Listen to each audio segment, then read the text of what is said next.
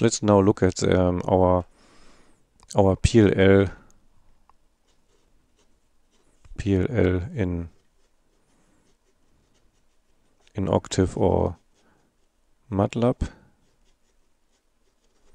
And do this here split screen that we have the um, circuit diagram here on the one side and the code on the other.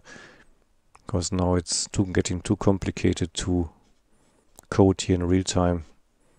And so we just leave the code here on the other side. And, um, and so we've got our multiplication unit, um, low pass filter, and our VCO.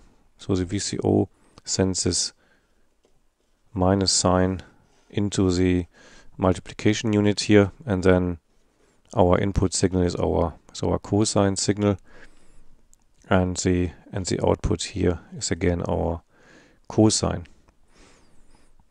So pretty straightforward. So we know already the oscillator here. Let's just um, see how um, how this is implemented here. So so we see that our voltage controlled oscillator here. That's our VCO here. So the VCO gets an input voltage of of V. So this one is here V. And um, yeah, this is multiplied by uh, just a small factor just to make this make these changes small. And we see that the normalized frequency is 0.1. So the VCO here, this runs runs at FC equals 0.1. And then this is controlled by the voltage V to create slight changes. So with that, um, our VCO is sorted. Then the next step here is our phase detector. The phase detector is obviously this this unit here. So what we do is we take our input signal. So this input signal here is called Y. And this input signal is sent into our multiplication unit and then multiplied by minus sine. So we see this here. So now the next step is the filtering operation. So that's here filter. That's the standard filter command.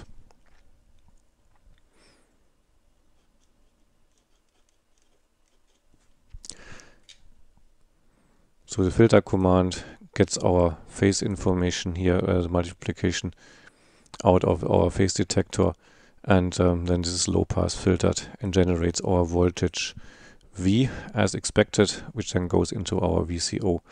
Um, one tiny aspect here. So you, um, we see that the filter has this ZF here as a second argument, and this is the state of the filter. Because now we are running in a big loop, so we are processing the values one by one, and the filter needs to remember its previous state. And so that's um, important to remember here for the implementation.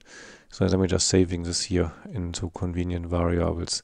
And um, otherwise the code is quite self explanatory.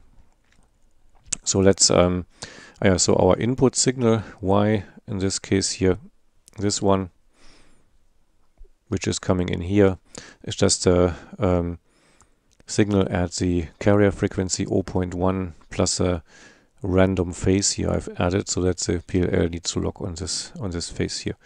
So let's see if this works. Command window PLL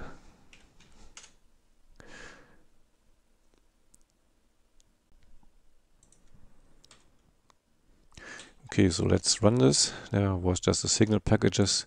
Package was not loaded. PLL. That's looking good. So let's just get the figure on the screen. Yeah, and so here we see our PLL in um, in action. So we see here at the bottom. So this this signal here um, is a filtered output here. This is V. That's a voltage V and the other one is the output is the output of our of our VCO.